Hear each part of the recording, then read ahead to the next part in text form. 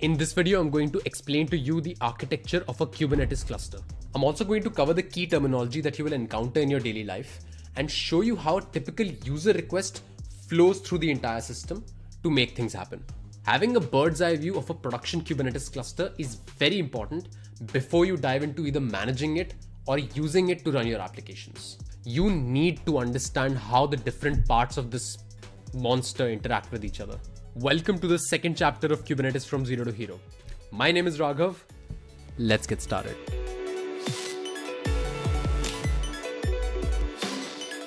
First of all, a Kubernetes cluster is a bunch of computer processes that work together to run and manage all your containerized applications. Your organization could be running one or several clusters depending on the use case. For example, one production cluster, one staging cluster, and so on. At the bare minimum, a Kubernetes cluster has one worker node to run your containers. In Kubernetes, worker nodes are the servers doing all the work. This is where all your workloads run. A worker node could be a virtual machine like VMware, EC2 instance, or a physical machine like a bare metal server or even your laptop. The control plane manages all the worker nodes and makes global decisions. It is actually a set of processes that work together to administer the entire cluster. For example, it is responsible for handling user requests, scheduling containers, managing state data, and responding to cluster events like container crashes. Technically, you can run an entire Kubernetes cluster on a single machine, but that is not exactly a good strategy for production environments. But if you're just testing things out, then sure.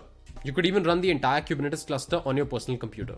In a production deployment, however, you would usually deploy the control plane processes across tens or even hundreds of servers, and your worker nodes would actually be dedicated servers, which, depending on your use case, could run into tens of thousands. Back to our architecture, let's take a closer look at a worker node. The most important thing you need to know is a worker node doesn't directly run containers.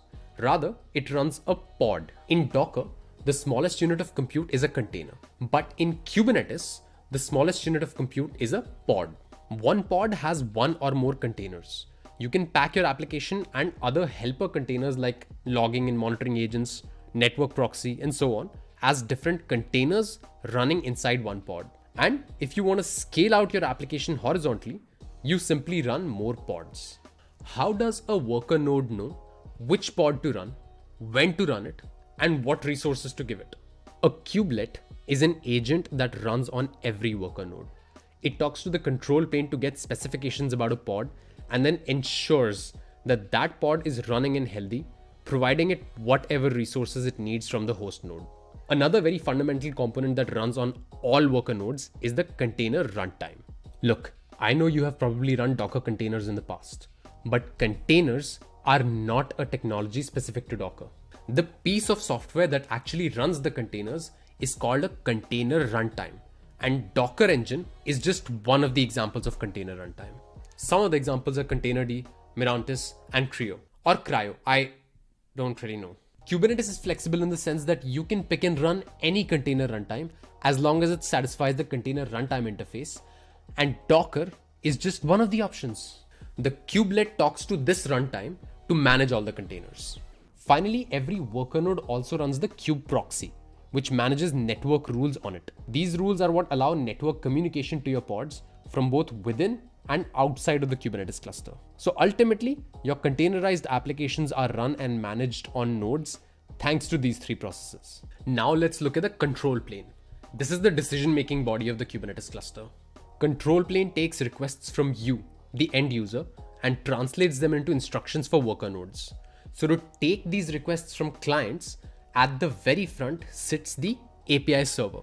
When you use kubectl or the Kubernetes UI to, let's say, run your application, these client interfaces are actually talking to the Kubernetes API. Even the internal components of Kubernetes like the kubelet talk to the API only. It is essentially the single entry point to the cluster. So it also takes care of things like authentication and authorization.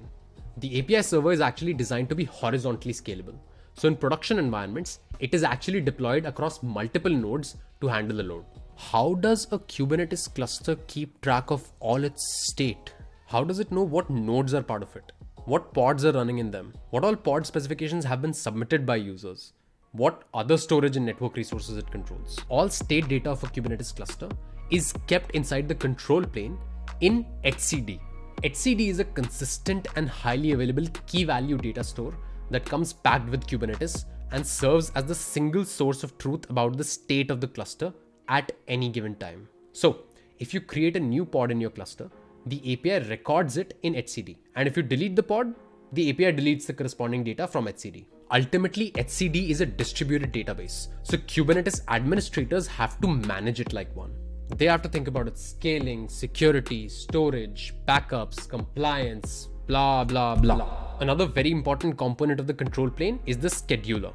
It is responsible to ensure that pods get placed on the most suitable worker nodes so kubelet can actually run them. When you request the API to create a pod, the API is actually forwarding this request to the scheduler. Scheduler takes into account a lot of different factors like how much resources are required by this pod. Does it need to be physically closer to another pod? What kind of hardware does the pod need to run on? And other user defined constraints. It also checks for things like which node is the least busy or least utilized. Maybe run the next workload there. And based on all these factors, it picks the best worker node to run the pod on. Scheduler therefore also solves the bin packing problem, which is essentially to take a bunch of applications and deploy them optimally on a bunch of servers such that they are run reliably and we can minimize the number of servers required. Finally, there's the controller manager. This is the background process whose job is to always steer the system towards its desired state. For example, if a pod crashes, the controller manager will learn about this and take actions to ensure that another pod is spun up in its place, thus bringing the system back to the desired state. The controller manager runs different controller processes, and each controller process is responsible for one type of resource. For example, the node controller detects and responds when a worker node goes down.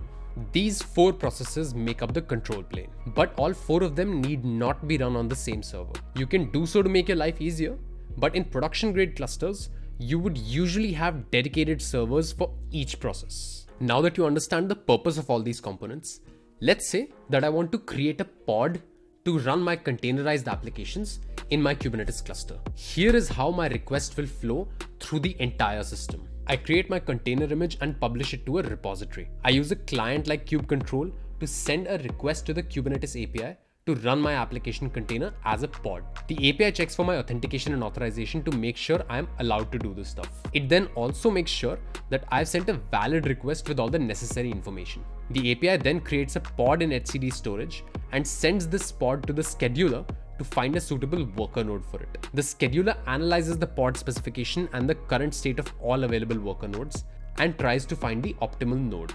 It then notifies the API server about the node assigned for the pod. At this point, the deployment controller, which is part of the controller manager, discovers that a pod has been assigned a node, but the node is not yet running it. Therefore, the system needs to move towards the desired state. So the deployment controller notifies the API that a pod needs to be started on the assigned worker node. API notifies the kubelet of the assigned node, supplying it the pod spec and all the details. Kubelet then talks to the container runtime on the node to get things going. The runtime fetches my image from the repository, starts running the containers and hence the pod starts running. Now the deployment controller is happy. The API is notified and of course all state is saved in etcd. At this point, if I use kubectl to get the status of my pod, it will show me that my pod is running. So even I'm happy. Take a moment to understand this entire flow. Replay the section if you need to. Also notice that all interactions happen via the API only. Now your assignment for today is to figure out what will be the request flow if my running pod suddenly crashes. Think about how the deployment controller would react. Tell me your answer in the comments below. And so this, my dear friends, is the complete architecture of a Kubernetes cluster. Every control plane component can be deployed independently and you can keep adding worker nodes, which is what makes Kubernetes infinitely scalable. In the next lesson, I will show you how to set up a Kubernetes cluster on your personal computer using Minikube. Until then, keep learning with me. If this is your first time around here, I have a channel dedicated to making you a world-class DevOps engineer. So subscribe and start leveling up. Give this video a like and share it with your friends. I will see you in the next video.